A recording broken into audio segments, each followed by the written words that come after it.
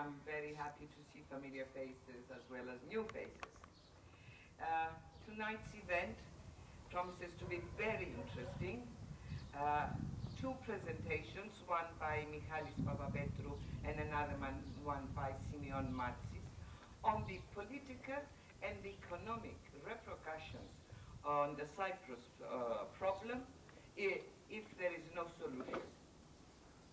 So, the way we are going, won't have a solution. So it's good to know what, we, what, what, what's in for us. We're going to start with Michalis Papapetrou, who will uh, do the political aspect of the matter. He was born in Nicosia. He studied law in Athens and London. And after his studies, he returned to Cyprus and worked as a lawyer. In 1975, he was elected president of EDON till 1987, while in uh, 1985, he was elected member of parliament of the AKEL party. In 1990, he resigned from AKEL and initiated the ADISOK party, of which he was an MP, vice president, and president from 1992 onwards. In 1996, ADISOK joined forces with Mr. Vasiliou's party, GEL, and formed the United Democrats, where he served as vice president and president 2005.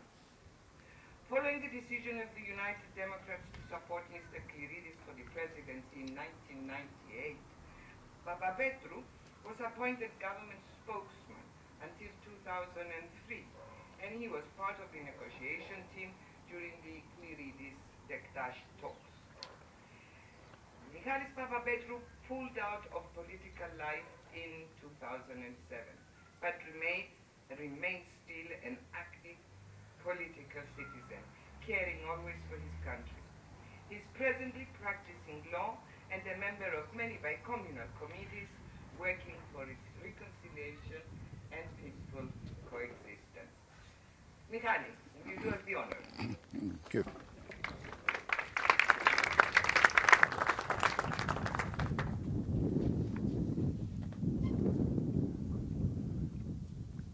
Rita reminded me of some nightmares of the past. anyway, I want to thank the organizers for inviting me to share with you some of the ideas concerning the solution of the Cyprus problem. I should be very happy should I be able to be a bit more optimistic than I will appear.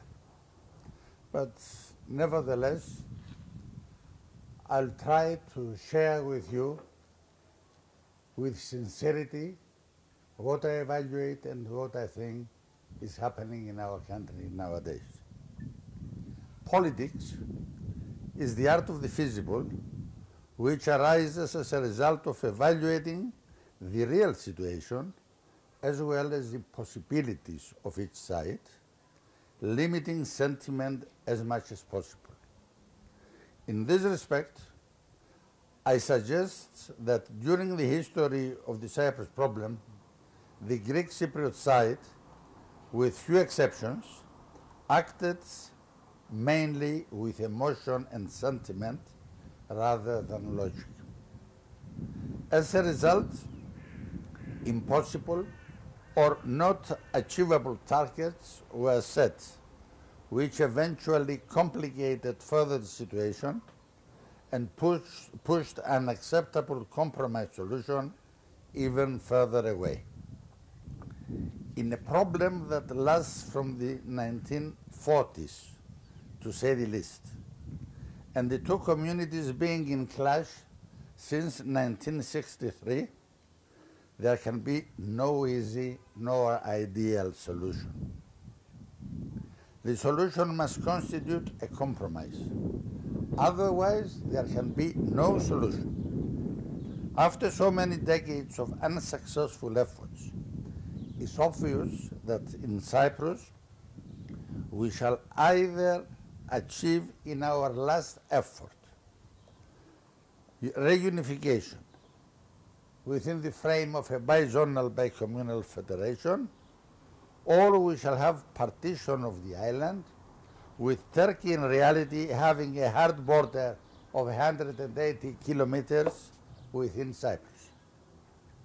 All other theories are senseless and in reality aim to preserve the today's status quo, i.e.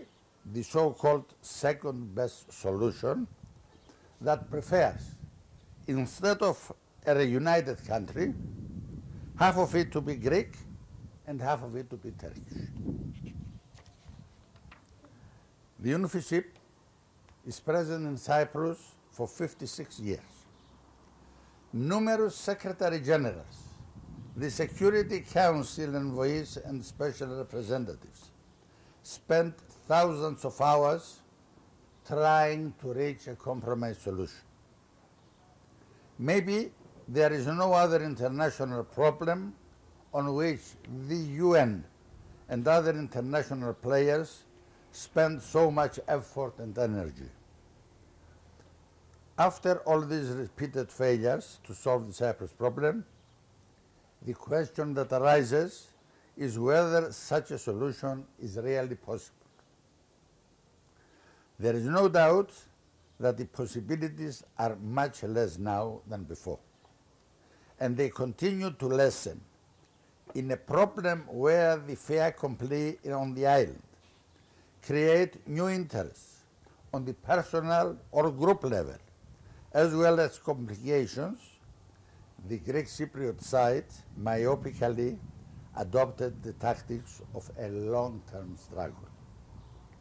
The Greek Cypriots failed to understand that it is not the same to search for solution with 10,000 settlers than with 200,000 settlers. To have the Turkish Cypriot community organized in a state, so-called state, even recognized only by Turkey, the occupation force, than to deal with a community. With people born and living in Cyprus for 30 or 40 years, and to describe them as settlers that have to leave Cyprus. Manifolded interests gain space, and those ready and willing, willing to drop them are fewer as the time lapses. The prolongation of the Cyprus problem creates dangers for further complications. It creates new fait accompli. The culture of separation is strengthened and frustration as to the possibility of reunification is spreading among citizens in both sides. The population is alienated and the coming together is becoming more difficult.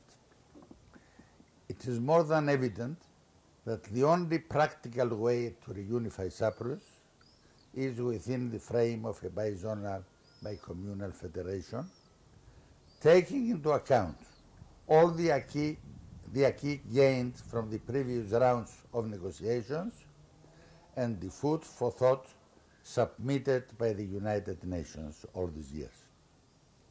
If a political problem is not solved within a reasonable period of time, and the Cyprus problem is very, but very delayed, then deviations to less just or acceptable arrangements is becoming more realistic. If somebody wishes to be in co contact with reality, he should but admit that the effort for a unification solution in the frame of a federation is given its final chance. If for any reason no federal solution is reached within the present and next year, then obviously other partition solutions shall prevail with the enormous danger such development not only to fail to solve the problem, but instead to plant the seeds of new enormous and dangerous frictions in Cyprus a solution which practically means a hard border with Turkey within Cyprus shall be a nest for clashes and tension with catastrophic results. In summer 2017, the two sides met in Crans-Montana and they came very close to a positive final outcome. The Secretary General called upon both sides to walk the final mile and urge them to transform the narrowing of the differences achieved into a final solution. It was obvious that both sides, but mainly the Greek Cypriot side, failed to evaluate correctly the historic character of that meeting. The unique opportunity was not taken advantage of, and the Secretary General did not hesitate to name those he considered responsible. He attributed the responsibility for the failure to the two Cypriot leaders. At the same time, he praised all guarantor countries, Turkey included, for their efforts and contribution towards a solution, believe it or not. This contradicts the official Greek Cypriot story of events, putting all the blame on Turkey. Circles of the United Nations, the European Union and other diplomatic missions support the Secretary General's attitude. And alleged that Turkey gave clear signals of readiness to withdraw its army with the exception of the two regiments agreed upon in 1960, whose withdrawal should be decided by prime the prime ministers of the guarantors at a later stage, as well as its readiness to renegotiate a new system of international guarantees surrendering at the same time its unilateral right for intervention in Cyprus. These Turkish positions were described as conditional with an overall agreement. It was for this reason that the Secretary General submitted a six points frame where all the above plus the return of Morphou were included in a very clear-cut manner, trying to bridge the remaining differences.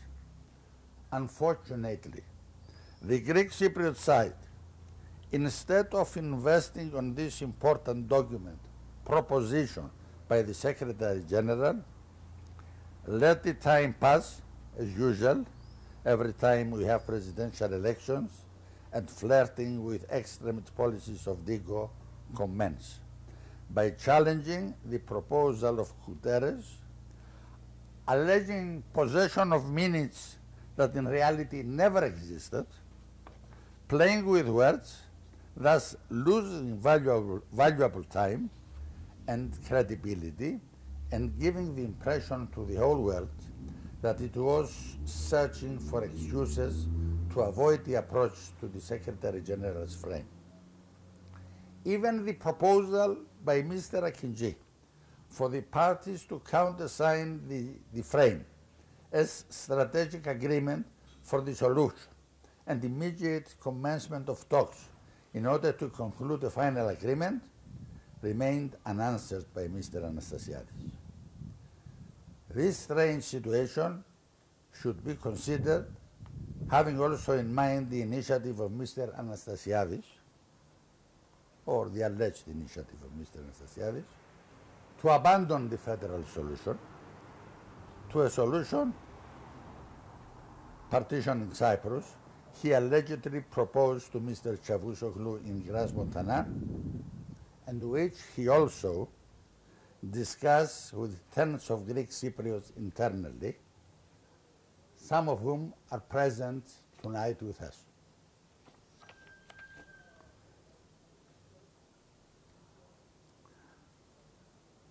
the strengthening. Further, he proceeded to abandon key chapters already agreed upon in the negotiations, undermining the momentum and opening the road to new demands by the Turkish side. The strengthening of the powers of the federated states or the substitution of the presidential to a parliamentary system as proposed by Mr. Anastasiadis, is characteristic. The Greek Cypriot leaders, including Mr. Anastasiadis, for many years struggled to enlarge the powers of the central government. And when this was achieved, the position that additional powers should be given to the federated states was submitted. At the same time, these new theories, practically annulling political equality as described in the UN resolutions and agreed upon in the talks, created a turmoil of distrust among the two communities. In a recent in interview, Mr. Anastasiadis asked Erdogan whether the, he accepts the Kurds to have the right to block decisions of the Turkish government. Obviously, he did not realize that what Erdogan agreed was a federal solution in Cyprus and not in Turkey. After Crans-Montana, it seems that Ankara is trying to implement its threat that if no solution was to be found until then, then new approaches should be adopted. In this respect, Ankara, Tatar, and Özersay campaign for a solution of two states, and so far it is the heroic stance of Mustafa Akinci that led in, the, in Berlin uh, the reconfirmation of bizonal federation as the desired solution. The question is until when Akinci's resistance could be effective.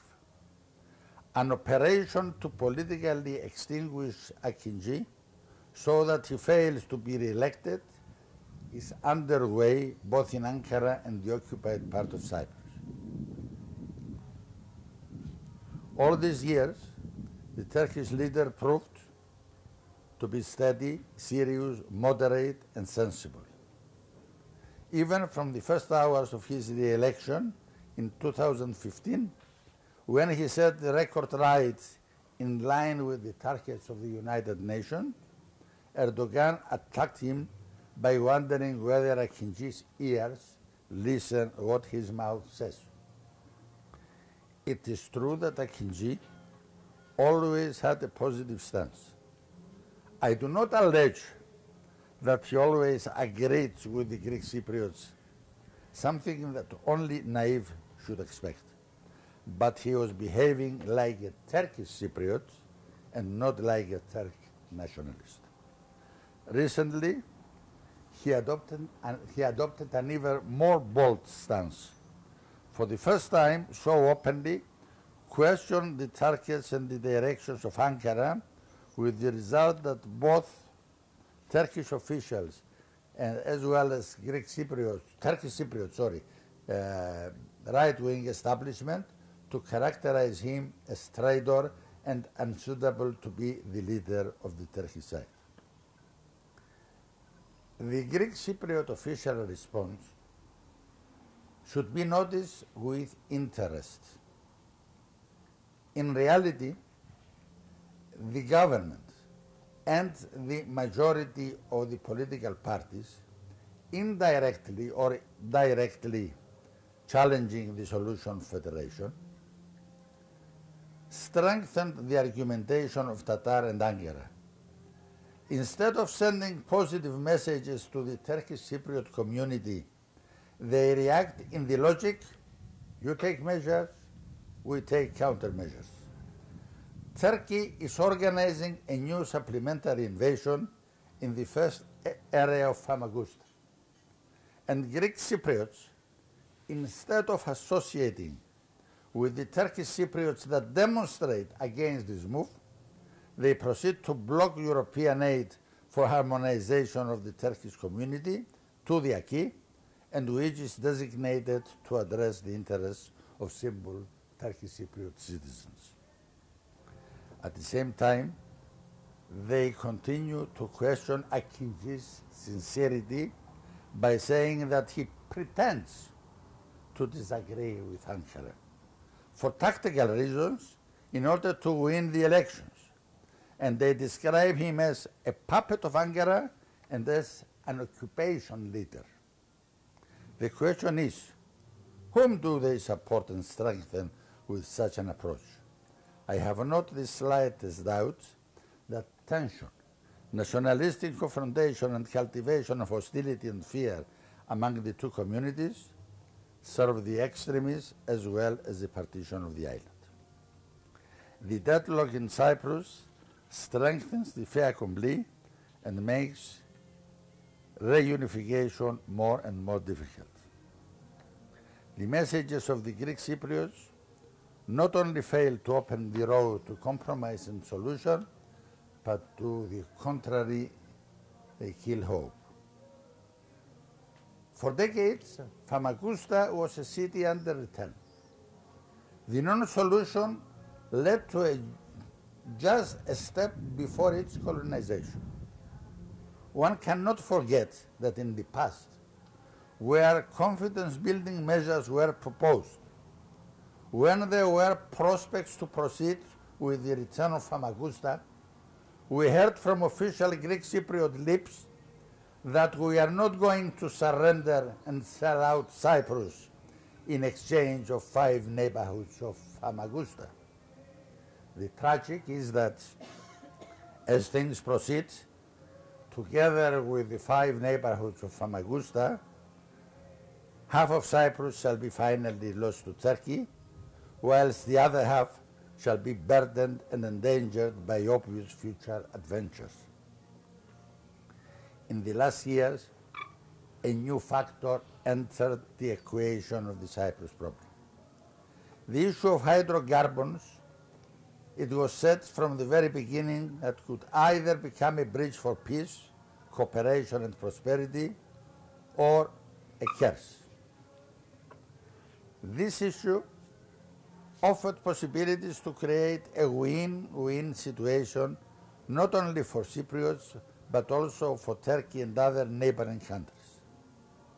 It has been encouraging that during the talks the two Cypriot sides agreed on the handling and distribution of income. The problem that arises is what the situation might be until we reach a solution.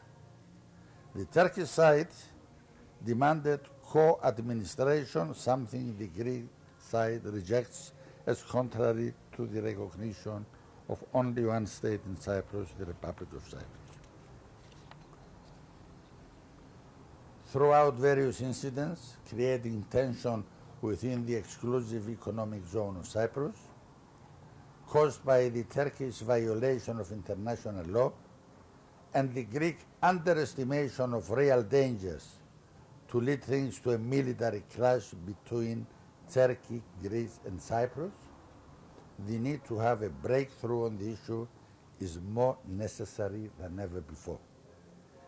Instead of using hydrocarbons as a weapon, we should rather opt to treat it as an opportunity for cooperation.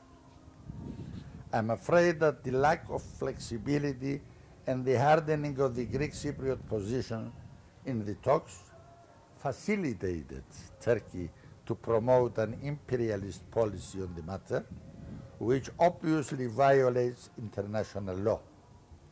Nevertheless, despite the governmental efforts to create illusions, the Greek Cypriots realized that the solidarity and support from European Union and the international community, it is very difficult to go further, further than verbal support. It is my understanding that the Turkish army, which practically invaded almost all countries of the region, is treated by the international community as a power factor instead of being considered as one of, main, of the main causes of tensions and illegality. The Turkish threat to flood Europe with millions of Syrian refugees and African and Asian immigrants proves to be the main concern instead of implementation of international law. Preservation of tension in Eastern Mediterranean and the explosive situation in Greek-Turkish relations can lead to no positive results. The efforts for reunification of Cyprus within the frame set up by the international community shall be dead. It is for this reason that a wise and flexible leadership should not rush to refuse the proposal of suspension of drillings by all sides, something that de facto is taking place due to COVID-19, whilst the efforts to resume talks and solve the problem are still alive. Flexibility is strength if this serves the interest of your people. To the contrary, a dogmatic attitude which says dignity in inverted commas but leads to catastrophe and defeat should not be an option. The tension between Greece and Turkey is explosive. There is only one way out international law. Recourse to the court in The Hague seems to be one way. I strongly believe that the recent agreement between Italy and Greece vis-à-vis the sea zones offers the basis for an agreement between Turkey and Greece. Çavuşoğlu accepted the spirit of this agreement, which is recognizing the rights of being islands like Corfu, Kefalonia and Zakynthos to continental shelf and exclusive economic zone. Same way, Crete, Rhodes, Samos, etc., should have similar rights, something that Turkey today refuses. Similarly, small islands in the Ionian, i.e. Othoni, were recognized with 30% limited rights. Likewise, the same should apply with Castellorizo, which is smaller than Othoni. There is also another issue. Greece rightly treats the Lausanne Treaty of 1923 as the Holy Bible concerning the borders between Greece and Turkey. At the same time, I don't consider it reasonable to deny other provisions of the same treaty, i.e., the obligation of Greece not to fortify or arm some of these islands. And another similar issues, issue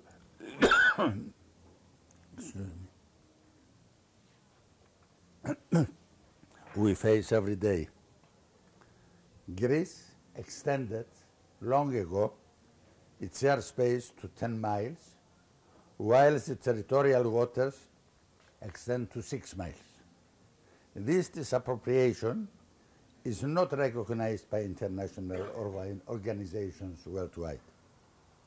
Therefore, flights of Turkish planes between the 6 and the 10 miles of airspace are not considered by them as violation of the Greek airspace and the majority of third countries adopt the same position contrary to the Greek allegations. As the time lapses, perils are increased. The United Nations started raising concerns about the renewal of the presence of UNFICYP, especially when the necessary stance towards compromise by the parties is not demonstrated. The renewal of UNFICYP ceased for some time now to be a typical easy and automatic process. Every time new concerns are raised by the international community. The most recent UNFICYP renewal resolutions included onerous provisions which normally should ring a bell to the Greek Cypriots. I have the feeling that Greek Cypriots fail to understand in depth what might take place in Cyprus if and when UNFICYP withdraws. The no man's land, consisting 3% of the Republic of Cyprus territory, shall be immediately endangered. The incidents in the area of Denia and elsewhere during last year are indicatory of the huge possibility for this area to be taken over by the Turkish occupation army. Furthermore, National Guard and the Turkish army will come face to face with no third neutral, neutral peace force being present to set the facts right and prevent violations and provocations, or even impartially report about them. As a, secret, as a Greek Cypriot, I strongly believe that the continuation of the status quo will make the solution more onerous and more problematic. In order to achieve all this, I mean a solution, peace and cooperation, were in urgent need for a compromise solution. The Secretary General set the frame towards this goal. He asked both sides to prepare for a final round of talks immediately after the Turkish Cypriot elections next October. This effort shall be vit of vital importance. We cannot fail.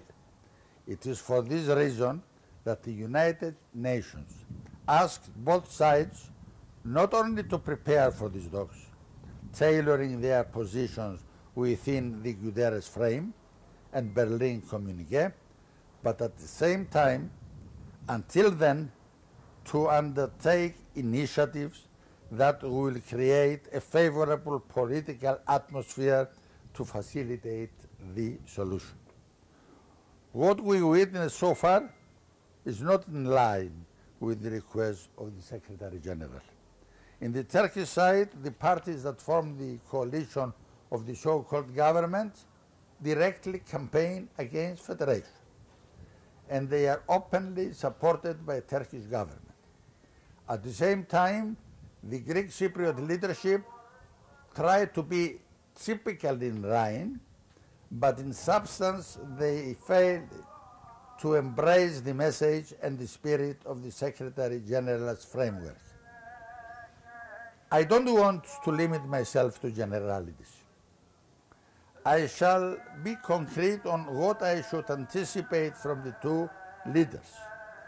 I should expect them to meet every second week until talk starts, to tackle issues that they shall turn the general atmosphere more positive and constructive, to exchange visits in the respective areas, to address respective audiences in both sides, to change the language of confrontation used on a daily basis, to send concrete and constructive messages for peace and cooperation. This is the way how to respond to the request of Guterres, and at the same time to refrain from provocations either in the no man's land or Varosha that directly violate the UN resolutions.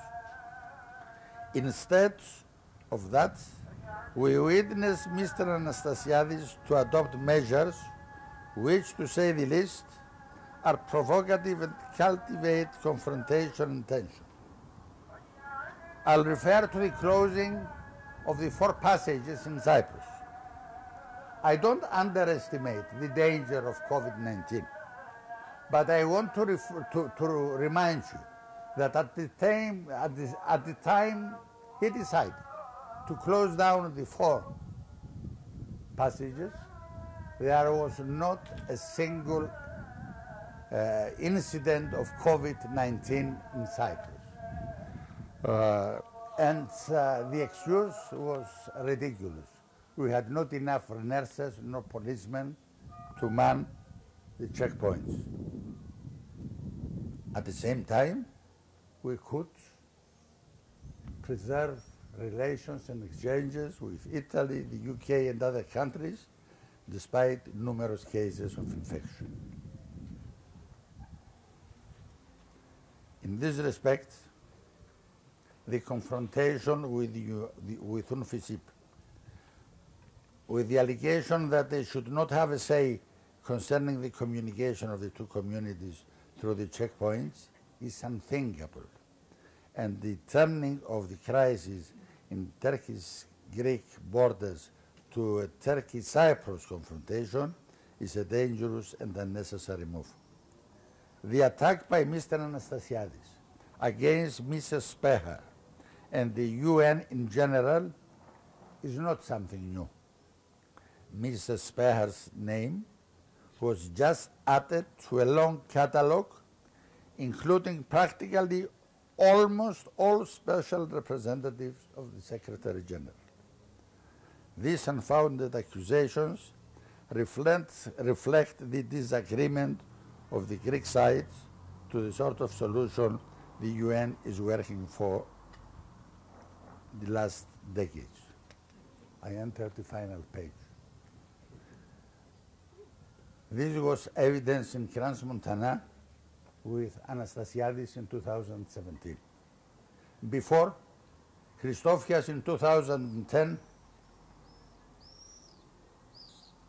when he turned when he turned down the request of Ban Ki-moon to endorse the basic convergences in the talks, and thus opened the road to the defeat of Talat and the election of Eroglu in the elections of the Turkish Cypriots. And of course, in 2004, with the negative vote of the Greek Cypriots in the referendum of the UN plan for solution. The question is, if we don't like the frame of the UN, then why we continue to consider the UN as the only international organization which can bring about a solution? Unless we are playing for time, expecting some miracle which will turn things to our favor. But miracles do not take place in the 21st century. It should be understood that we live maybe in the most dangerous part of the world. A mistake is more than enough for an explosion. And it should be understood that if such an event, in such an event, no side shall be in a position to claim victory. The defeated shall be the peoples, shall be peace, shall be the prospect for peace, peaceful and prosperous lives for our children. Thank you very much.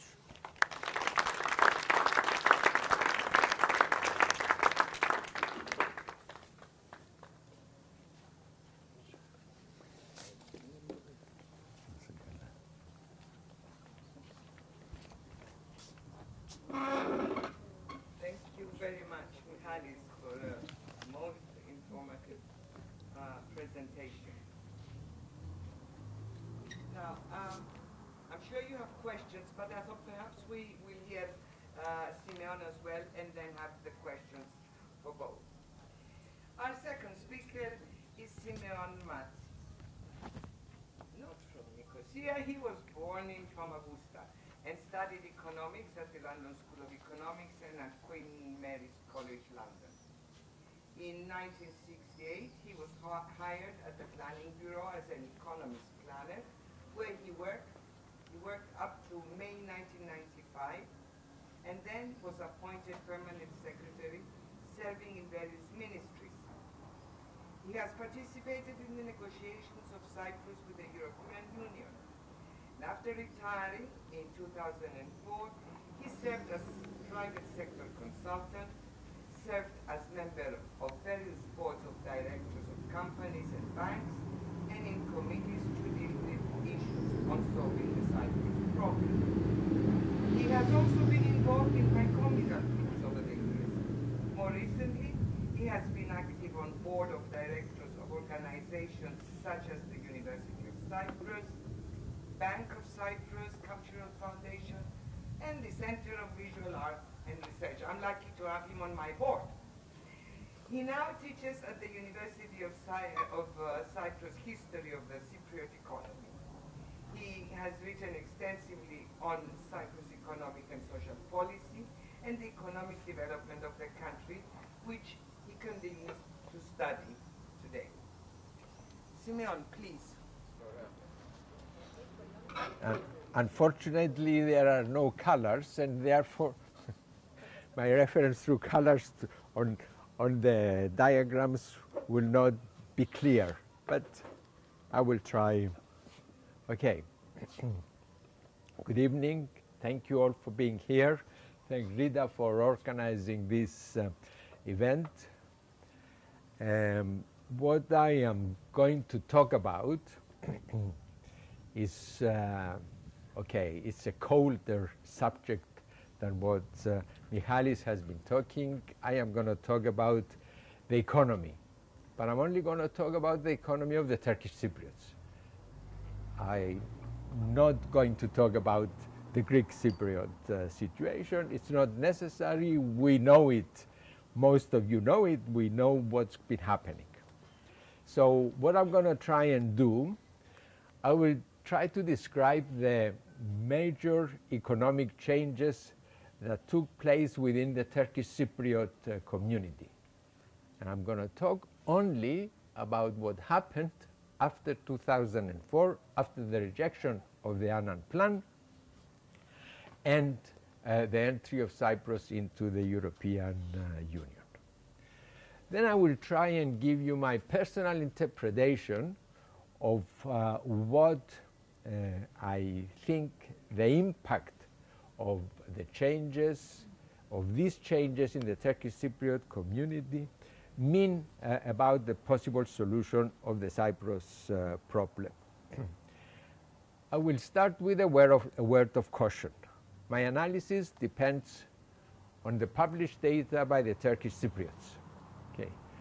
Uh, as they are published, and unfortunately, they are published about two to three years later, therefore I will be talking about the economic situation of the Turkish Cypriot community not today, but as it was in 2017 or as it developed between 2003 and 2017. In addition, I would also like to say that what has happened since with the, uh, with the spreading of the coronavirus means that the situation is now changing dramatically and it is extremely difficult to interpret this in, uh, these latest developments and how they will impact on the economic situation in each community and hence in their political ramifications. So let me start. I will start to describe the major changes as I see them about the, uh, for the Turkish Cypriot uh, economy. The first important differentiation that has been the economic development of the North and the rise in the standard of living of the Turkish Cypriot. So we have to understand that the Turkish Cypriots are not our poor brethren, uh, brothers as we used to think of them. They are much more affluent uh, today than they were uh, in uh,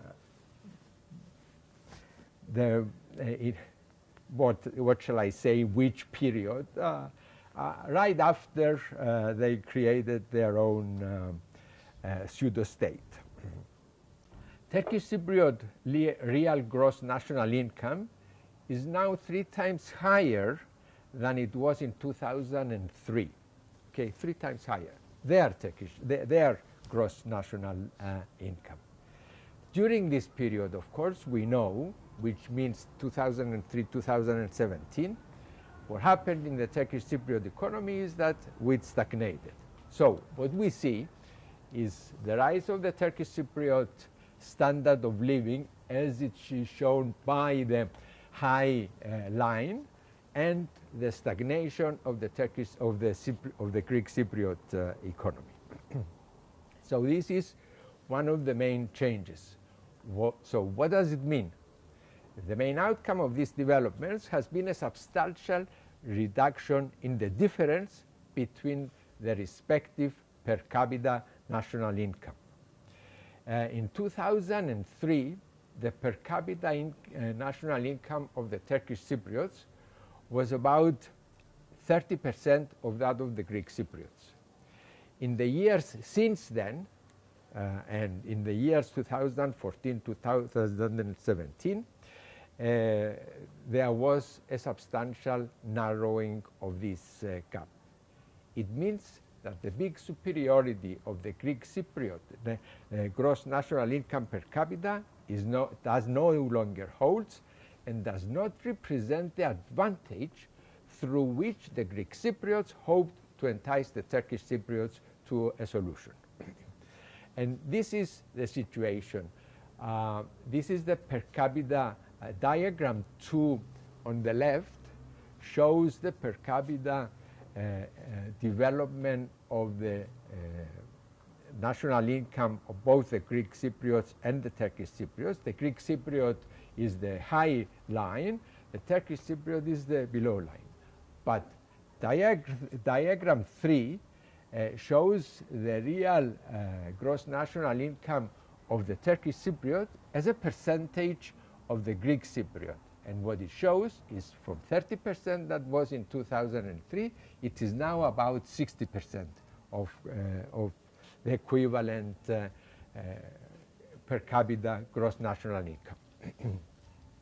the second big change is that the economic growth in the north was uh, accompanied by the creation of a large number of employment opportunities. The Turkish Cypriot economy uh, created many employment opportunities between 2004 and 2017, allowing, gainful, uh, uh, allowing gainful employment to rise from 87,000 in 2004 to 121,000. And this, this is uh, the situation that happened with gainful employment in the Turkish Cypriot uh, economy. So we can see that there was a big rise. So what did it mean?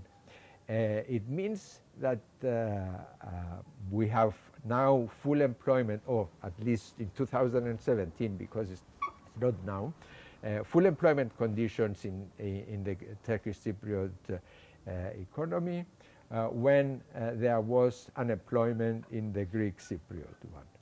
Uh, so there was a fall in the unemployment from 2000, 12,009 to 7.5 thousand. So what does that mean is that now the unemployment level of the Turkish Cypriots is only 5.8 percent, uh, and it's much lower than the equivalent uh, on the Greek Cypriot side, which was 11.1 percent.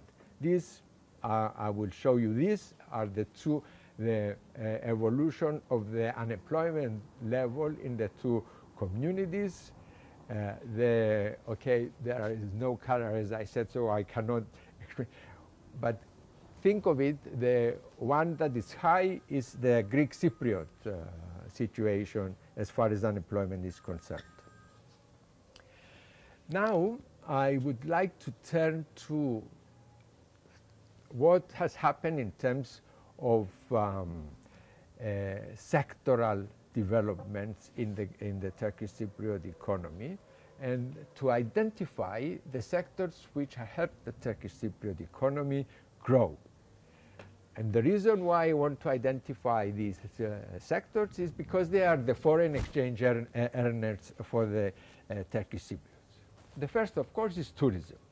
I mean, uh, uh the, uh, it has become the most important uh, production sector of the Turkish Cypriot economy in terms of foreign exchange earnings. Uh, uh, look at the numbers in order to understand. In 2003, there were only, only 470,000 visiting the Turkish Cypriots. In 2017, the number of visitors uh, in, uh, in, in the north uh, reached 1.8 uh, million, of which, on average, 77% are Turkish nationals. Obviously, the um, uh, tourism of the uh, Turkish Cypriots is mostly dominated by, the, uh, by Turkish nationals. but it has grown quite substantially. uh, tourism generates uh, income and employment and helped raise the standard of living through the foreign exchange earnings it generates. This increased from under 200 million in 2003 to over 900 uh, in 2017. Uh, the, the 900 million earnings, which is uh, in dollars, not euros, it's dollars, the, the figures, they represent 21% of the gross national income of uh, uh, Turkish uh, Cypriots. Let me remind you that this was approximately the figure we had in Cyprus in the 90s. 1990s, tourism was about 20 to 23 percent of uh, uh, national income. Therefore, now the Turkish Cypriots have the similar situation that we had in the 90s. Now, uh, if you look at uh, uh, tourism for Cyprus, it is less than, uh, than about 12% earnings from tourism are only 12% for um, Greek, Cy Greek Cyprus. now, what has happened at the same time is that uh, there has been a, big increase in hotel bed capacity. Uh, they have 12,000 uh, hotel beds in 2003. Now they have about 22,000. Most of these investments, however, like the tourism, like uh, the tourist, are uh, Turkish capital, unfortunately, and therefore what it becomes obvious is that uh, Turkish Cypriot tourism is dominated by Turkey, both from the, from the point of view of uh, the, the, visitors, but also from the capital and the uh, uh, creation of new hotel capacity. What is interesting as far as the Turkish Cypriots is concerned is, of course, the casinos. There are now 30 casinos in uh, the Turkish Cypriot uh, in the north, and they account, they, they have created 7,000. So what happened? We are trying to copy them. So we created a casino as well because of what's been happening in, uh, in the north. Okay. now the second sector is universities. It's a very interesting sector as far as uh, the Turkish Cypriots are concerned. And we are also copying what's, what, what is happening in, in, in the north. Um, there are five things, five issues that I want to raise regarding universities. The first one is that in 2003 there were six universities. In 2017 there, they were 17. And my information talks about some more being created uh, gradually. Okay, so uh, 17 universities uh, in the north. The second is that they are spread all over the north. Okay, there are in the three main towns, in Kyrenia, in Nicosia, and uh, Famagusta, but there are also in Lefka, in Morphou, uh, in Karpassia. Therefore, they are spread all over uh, the north. the third issue is that there are four big universities, four with more than 18,000 uh, students. The largest one is outside uh, Nicosia, and it's the Near East University with 28,000 people and the other three are 18,000 uh, with 18,000 students, and it's the Eastern Mediterranean in Famagusta, the oldest university of the north, the American University in Kyrenia, and the International University in, in Nicosia. This diagram shows two things. It shows the number of uh, students and the number of uh, universities. So, uh, okay, what happened? Somebody got the.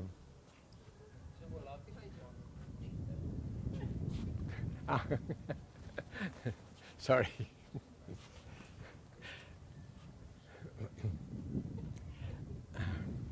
so I talked about three issues on the university. Let me talk about another two. And the fourth point about uh, uh, the universities in the north is the increasing number of students.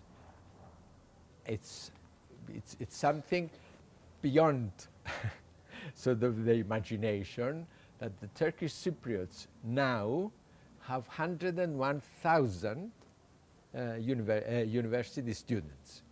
Okay, so, uh, and it was only uh, 30,000. This is, it was only 30,000 in two, now 2003. Now it's 101, and I don't know uh, if it continues uh, rising. But you can understand how important university education has become for the Turkish Cypriots, and it is a, uh, a foreign exchange uh, earner, uh, earning earner. Uh, so what is the fifth point is that the, that university education in the Turkish Cypriot economy now earns almost as much as tourism. Um, okay, no, let me, let me talk about the, the change in the numbers. Uh, this is the change in the three ethnic groups uh, of the students. Uh, the, the, the one at the top is number of Turks, Turkish nationals, which grew from 18,000 to 56,000 between 2003 and 2017. Uh, the second is uh, the rising number is third country nationals, which were 2,000 in 2003 and now is 31,000. Therefore, there was a big jump in the number of third country nationals, mostly from the Middle East, I think, but also from Africa. Uh, from the Middle East because most of the Middle East, uh, uh, Lebanon, uh, Syria, uh, Uh, Iraq, their universities are closed. Therefore, they have been able to attract uh, foreign students uh, in, in the north. Uh, the number of Turkish, of Turkish Cypriots has, is, is flat, is the, is the flat line. they are about, they are less than 15,000. Okay, so number of, so as a foreign exchange earner, you can see I compare the foreign exchange earnings of tourism with the foreign exchange earnings of uh, the universities, and you can see that it is almost equivalent. It's, uh, it's about it's 100 million difference, but the, the way that they're presented there, the, the, the big difference doesn't show. So now the Turkish Cypriots have the universities as one of the major um, income generating activities. Now, this was what happened with the Turkish Cypriot economy. Um, I want to um, tell you a few things about uh, the other uh, big change that has taken place in the Turkish Cypriot economy vis-à-vis -vis the Greek Cypriot in the sense uh, which is uh, the outcome of the opening of the crossing uh, of the uh, across the dividing lines. Again, I, there are four issues that I want to uh, describe because of that. And the first one is the visitors, which, oh, I mean, they, the number of visits between the two communities has shown uh, variation, but what is, in, what is um, uh, interesting is that there are more visits by the Turkish Cypriots than by the Greek Cypriots. Okay, so what we see here is uh, the Turkish Cypriots having more visits to the south than the Greek Cypriots to the north. But there is a big change in 2019. Why? very clear.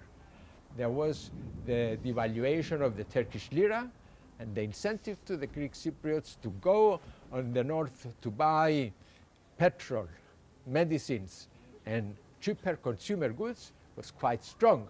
So what happened in 2019? the Greek Cypriots paid 2.4 million visits to the north, as opposed to the, uh, to the uh, Turkish Cypriots, which were about 2, 2 million. But uh, you can see uh, the incentive, how the economic incentives have an impact on this behavior.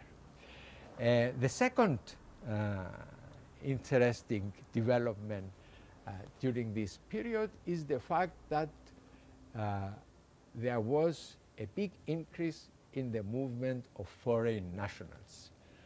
Uh, okay, this was an unintended consequence, but because of the opening of the crossings, uh, there was originally, it was probably the foreign workers in Cyprus, but eventually it was the foreign tourists in the south that started going to the north. And what happened was a big, a big increase.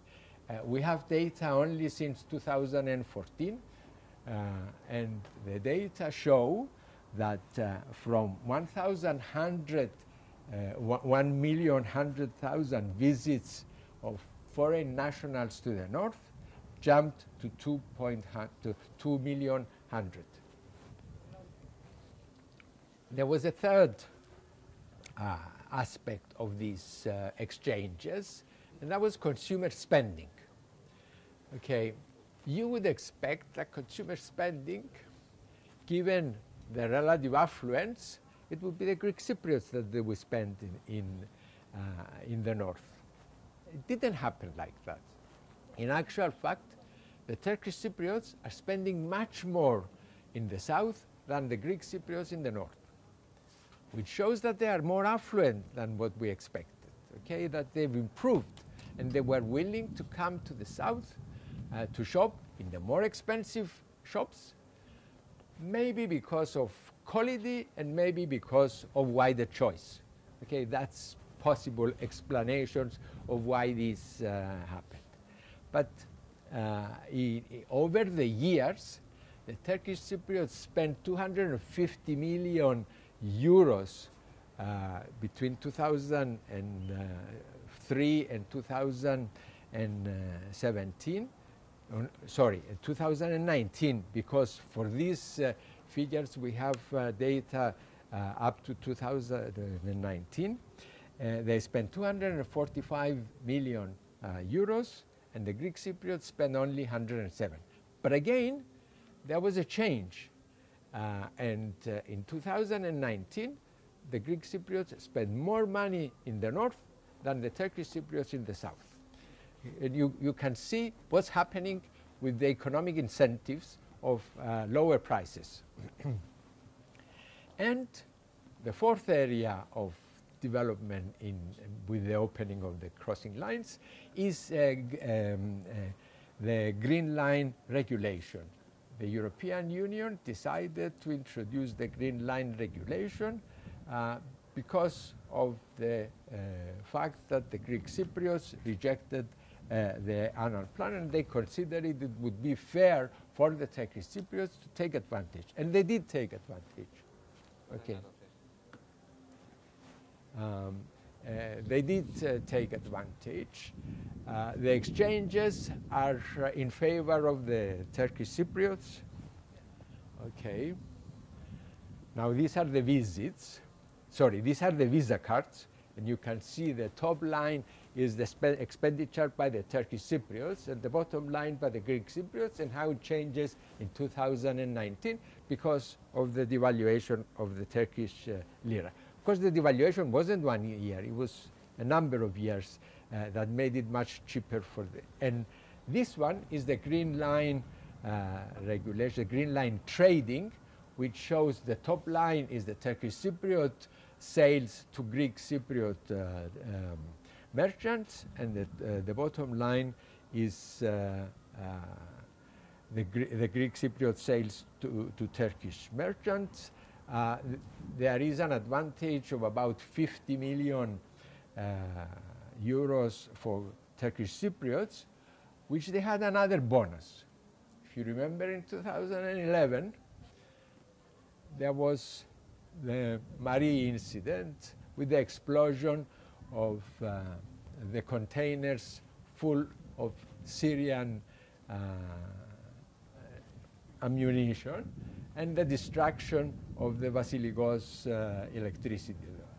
After that, the, Greek Cypriots, they were obliged to try and find the solution uh, to, to uh, the provision of electricity. So they asked, they asked the two chambers to have an agreement. They agreed, and the Greek Cypriots bought electricity uh, by about, uh, which cost about 30 million uh, euros. Therefore, the, the advantage of the, Turkish Cypriots were about 80 million uh, from uh, green line trade. Um, okay. There are uh, one, two other points that I would like to make about the Turkish Cypriot economy. And uh, this, uh, the, the first point is the fact that um, uh, Turkish Cypriot economy de uh, depends very much on, uh, on Turkey in terms of, it, of international trade. As trade, as they, there was an open international trade, uh, the Turkish Cypriots try, began importing quite heavily. Their domestic exports are very low. There are only, they used to be uh, about, um, uh, they reached about 150 million in 2011, but since then they have declined and there are only 100 million dollars of uh, revenue from uh, domestic exports by the Turkish Cypriots. During that time, their imports from 470 million um, uh, dollars they jumped to 1.1 uh, 800. Most of this is with Turkey. Therefore, the Turkish Cypriots are running very big deficits uh, uh, in, of um, trade with uh, Turkey.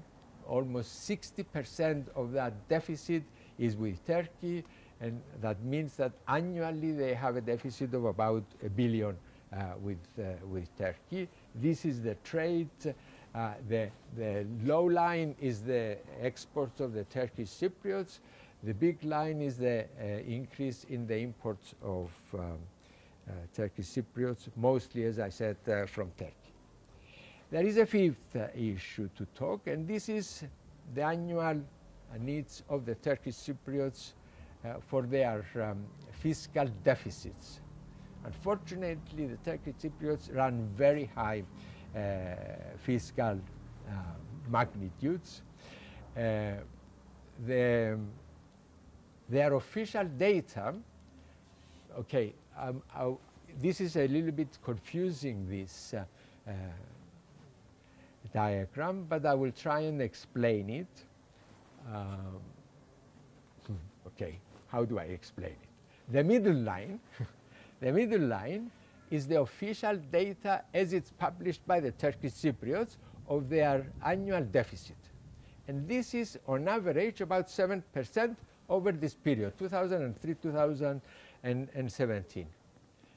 However, in the annual revenues, they include uh, Turkish aid.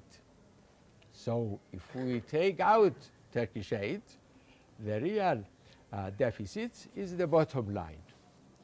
Okay, so the bottom line shows about an annual deficit by the Turkish Cypriots in the fiscal magnitudes of about 13 percent. Okay, I'm uh, simplifying. I don't need to bother you with how it's changing because it doesn't matter. Now the third line is also an interesting uh, aspect of what's happening with the Turkish Cypriots, and that they call it uh, credits from the Republic of Turkey. What is this? We, I mean, it's obviously uh, Turkey is uh, lending the Turkish Cypriots. Not only are they providing them with assistance, but they're also providing with lending. And the interesting fact is that there is no mention of a, of a public debt by the Turkish Cypriots. So they are lending it, and it's, it's an assistance, but they don't call it an assistance. they call it uh, credit from the Turkish uh, Republic. um, okay, so this is a very big question mark. What happens with, with this? and it, it shows that uh, the dependence of the Turkish Cypriots or Turkey is much more widespread.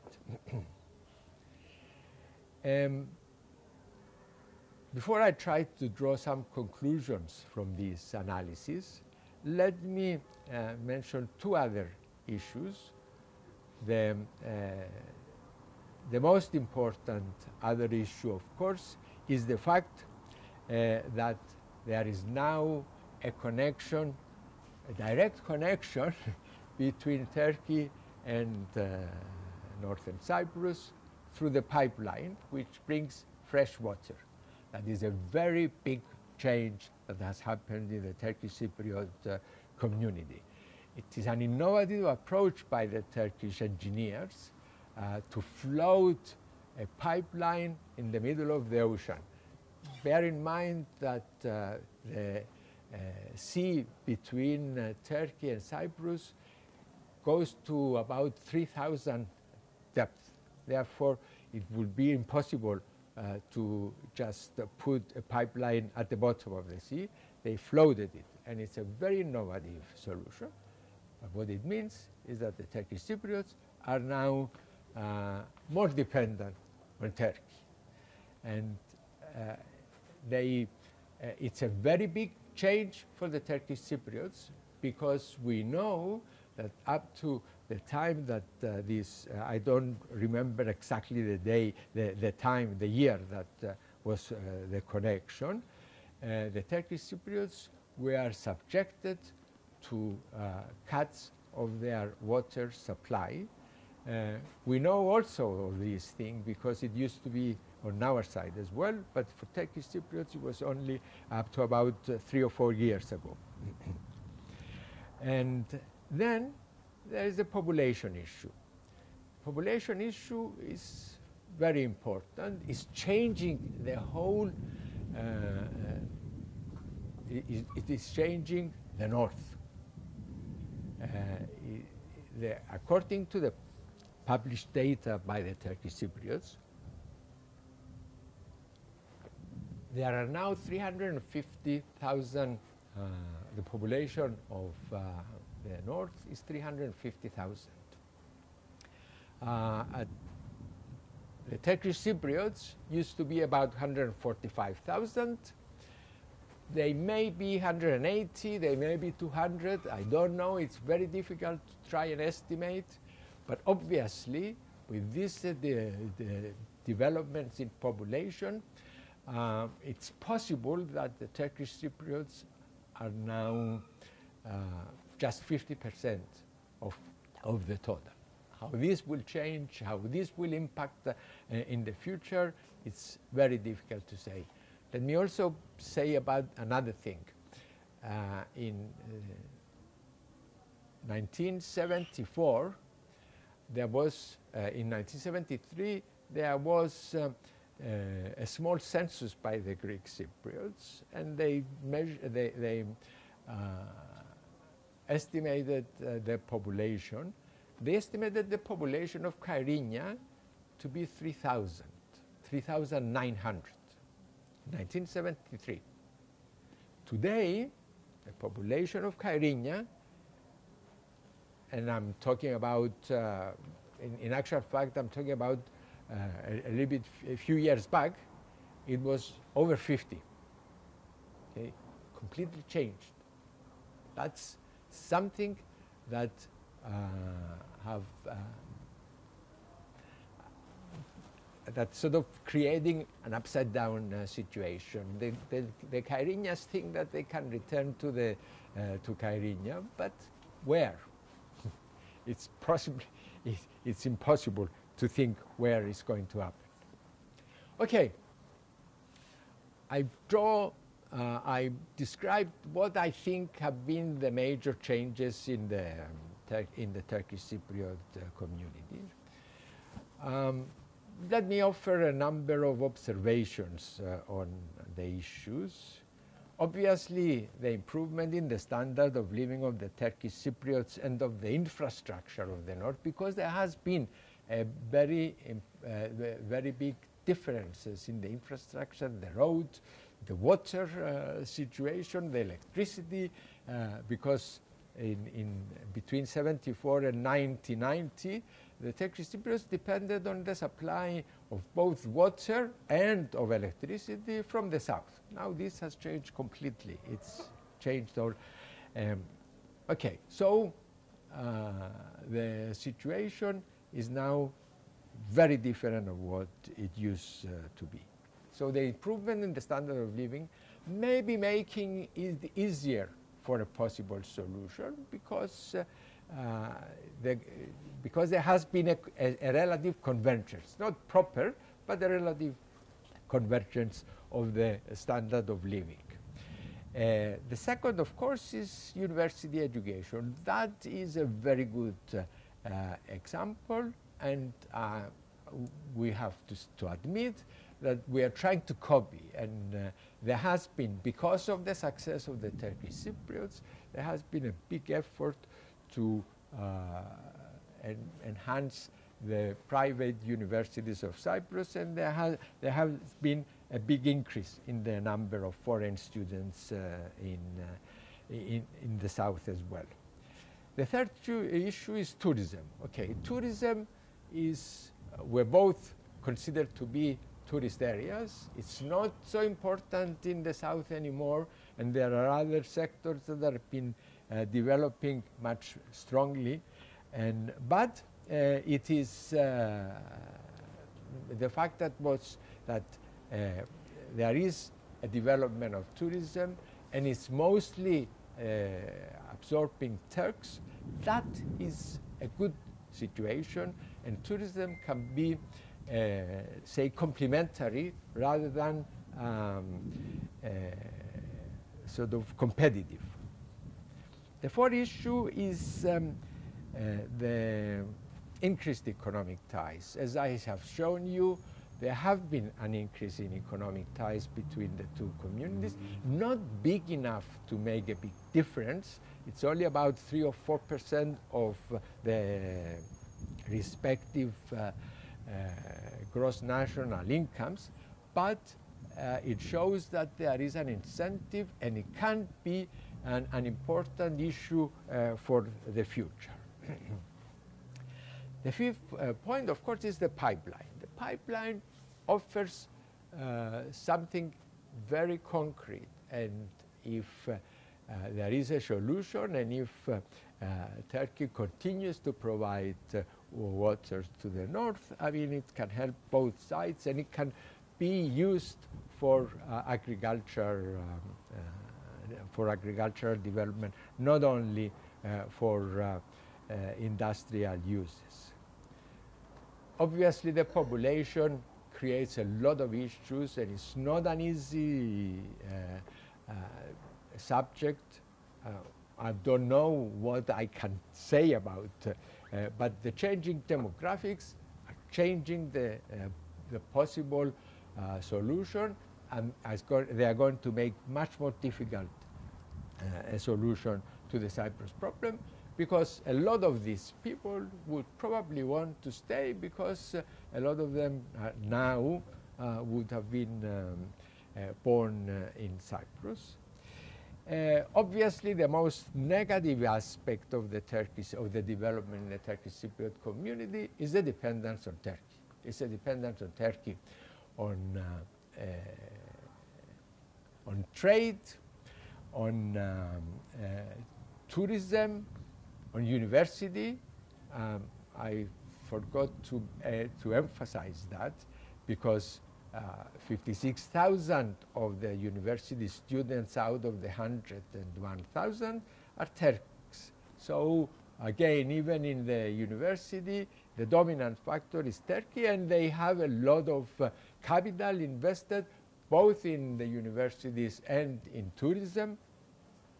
So the involvement of Turkey uh, with the Turkish Cypriot economy, it's going to be an added uh, difficulty.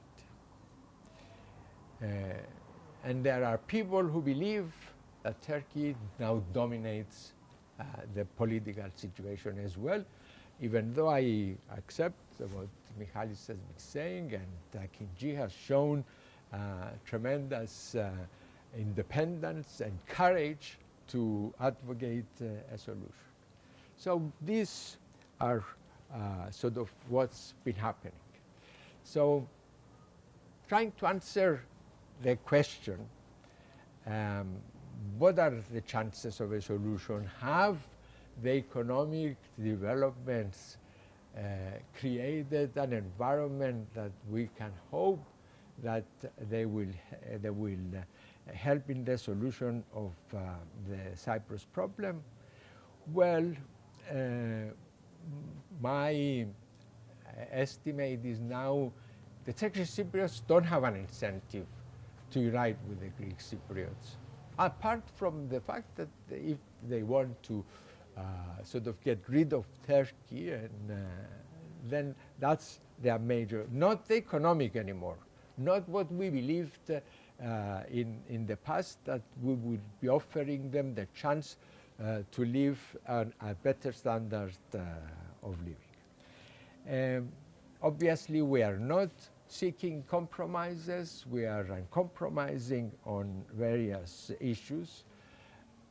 Two uh, issues um, are important if you think of the willingness to compromise. One is uh, uh, the energy situation, and we are not willing to compromise, and we did not offer to the Turkish Cypriots to participate. It would have been very easy to create a structure where Turkish Cypriots could participate in the exploitation of uh, natural gas and if uh, there is uh, oil. Uh, the second one, of course, the big failure between the two communities has been the halloumi. The fact that we have not been able, and we politicized the issue of halloumi, and is an, an uh, indication of our unwillingness to compromise on both sides. our Greek side, I agree with Michalis, is much more uh, recalcitrant than the Turkish Cypriots, but it's both sides. They, uh, it, uh, the issues have been politicized on, on both sides. So fortunately, my conclusion would be similar with um, uh, uh, that uh, the future does not bode well. I doubt if we would be able, on these issues alone, uh, to find uh, a solution. It's only if other things change. Thank you very much.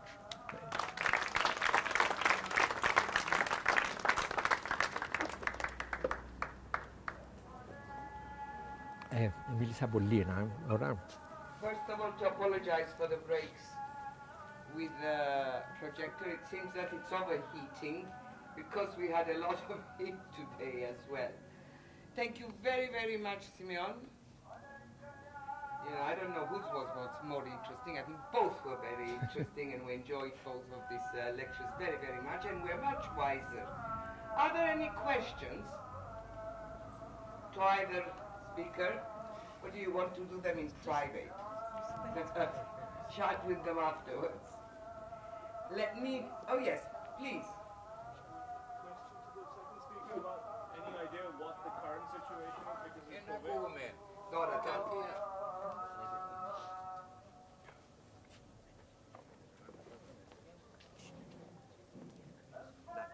Μίλησε παραπάνω εγώ.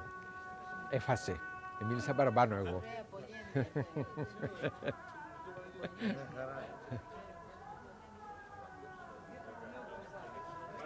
was about whether you had any idea as to what was happening currently uh, because of the situation with COVID and the economy on the other side. Okay, it's it's um, uh, I would it would be I don't want to try and. Um, uh, estimate what the situation would be, how it will affect. Uh, it is true, however, that given that the Turkish Cypriots depend on sectors with foreign exchange earning uh, for them to be viable, it means that it's going to be very difficult for the Turkish Cypriots uh, because tourism will probably not revive uh, this year. I didn't touch it, sorry. and, uh, and, and of course, uh, even the universities will probably suffer quite a lot uh, because they depend uh, uh, on both students from Turkey and students from other countries. Now, what does this mean? Um, will, will it create a better uh, environment through which we can hope that there will, uh, the two sides will come together? I don't know. I don't want to speculate. It's too difficult uh, to try and, uh, and guess what the effects will be uh, of these changes, of the coronavirus uh, pandemic.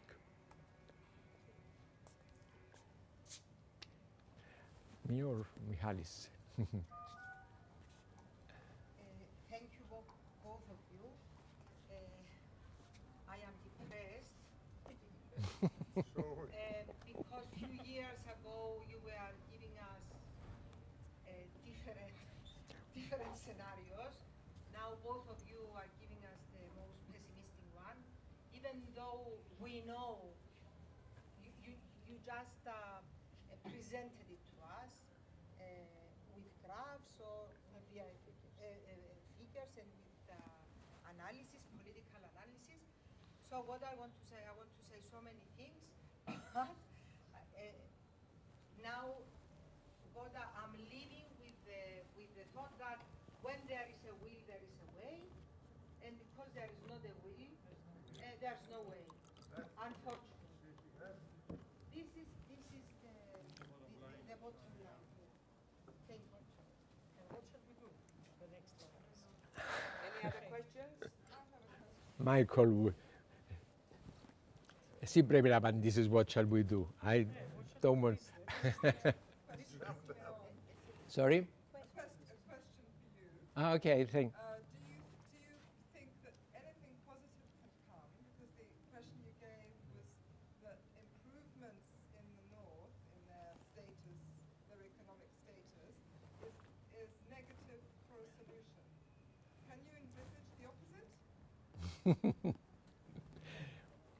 Okay. Um, on the contrary, I, I, I assume that the fact that the Turkish Cypriots are in a much better uh, situation and they have a much higher standard of living, I think it, it, i- and the fact that we can see that and we can anticipate that what we assumed would have been the cost for the Greek Cypriots to raise standard of living of Turkish Cypriots would have been uh, is less. Uh, that this would have facilitated. The economic relations uh, have created a bondage between the two communities, but very, very little. The fact, however, that, that consumers are willing to cross the lines in order to, to uh, shop uh, on, on either side shows that it's, it's potential. However, what I'm saying and why I am reluctant to believe that uh, uh, the Turkish Cypriots would be uh, willing for a solution is the fact that now they're dominated by Turkey. That's my main conclusion. That's my uh, problem, that I don't see how they can get away from the domination of Turkey. They were dominated from the beginning. Sorry? The domination was from the beginning. It's not. It's not a new. It's stronger now. Yes. It's, it's, it, it's stronger because Turkey is investing heavily in the, in, in the Turkish Cypriot. I, Investments by Russians, by uh, Israelis. okay, yes, This should have awakened us, but it hasn't awakened us. exactly, It hasn't. exactly. Yes, Yes. we have Russians. Any other questions? We solved the problem. we solve the problem. well, again, thank you very much, Mijo, Mihaly.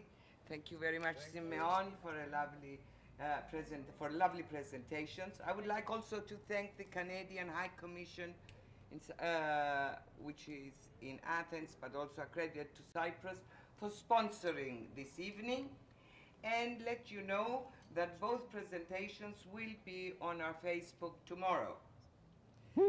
Yes. Okay. Thank you very much for joining us. Thank you very much for coming. Thank you.